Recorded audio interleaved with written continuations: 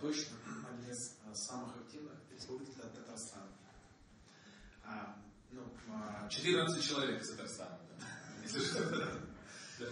А вот, ну, а, у нас традиционно а, активно Поволжье, Центральный федеральный округ, Северный Кавказ. Ну, я не буду делать сейчас отдельные.